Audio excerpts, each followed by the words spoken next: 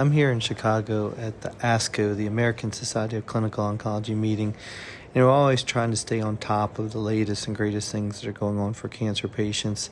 You know, we like to bring things uh, ahead of time, you know, the new things that are coming out to offer these to our patients. Of course, there's a lot of interesting information, um, a lot of things that are sort of reinforcing the things that we do. I mean, people are now coming along, understanding a lot more with the microbiome, understanding more with combinations.